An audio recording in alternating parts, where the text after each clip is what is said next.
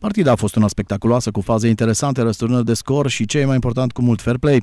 Vetiș câștigă meritat cu 3 la 1 și trimite echipa gazdă în coata clasamentului. Pornite ca o favorită la podium, Luceafrul Decebal a început excelent partida și minutul 4 Ciocotișan e faltat în care de portarul oaspeților Nadi. Șanat transformă impecabil și e 1 la 0. Tot gazdele domină și până în minutul 20 mai rosesc două ocazii prin Lihet și Ciocotișan. Antrenorul oaspeților Dorin Țuțuraș schimbă sistemul din mers și blochează excelent oamenii importanți de la Decebal.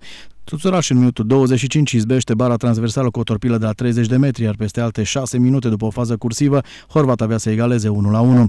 După pauză, viitorul pare echipa mai proaspătă, mereu primit la minge, elevii lui Tuțuraș reușesc să-și apropie victoria prin reușitele lui Neymet, minutul 68 și Negru 75. Cu Șanat ieșit accidentat și Ciocotișan dispărut din joc, Luceafru atacă palid și la final recunoaște cu sportivitate superioritatea adversarului. Îl felicit pe colegul Tuțuraș pentru victorie, o victorie, eu cred, meritată. Se vede că e o echipă puțin mai legată ca noi, cu jucători mai experimentați, care au cochetat și cu Liga 3, Liga 2. Îl felicit, îi doresc baftă mai departe, cred că va fi o candidată serioasă la câștigarea campionatului. Nouă nu ne rămâne decât să ridicăm capul din pământ, să mergem mai departe.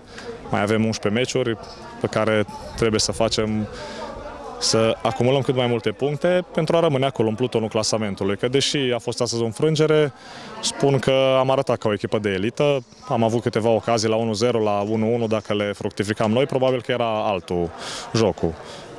Ne pregătim în continuare, muncim și sperăm să obținem rezultate cât mai bune de la meci la meci. De partea cealaltă, antrenor jucător de la Vetiș, Donițu Suraș, a cerut scuze omologului său de la Decebal. Știam valoarea echipei noastre și sincer mă așteptam la o victorie, pentru că în, la, în campionatul, la echipa care o avem, noi putem să batem pe oricine, dar putem să și pierdem cu oricine. Terenul nu vă prea avantajează și la Vetiș prost și aici. Și aici, e păcat că jucăm pe... terenuri. Are echipă, are trei echipe, dar nu are terenuri. teren, da. Păcat pentru chestia asta, dar una peste alta a fost un joc frumos.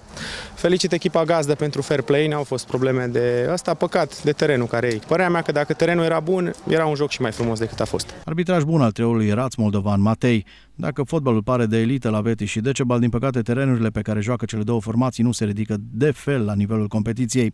La Decebal însă sunt promisiuni că baza sportivă și gazonul mai ales vor intra de la anul în reconstrucție.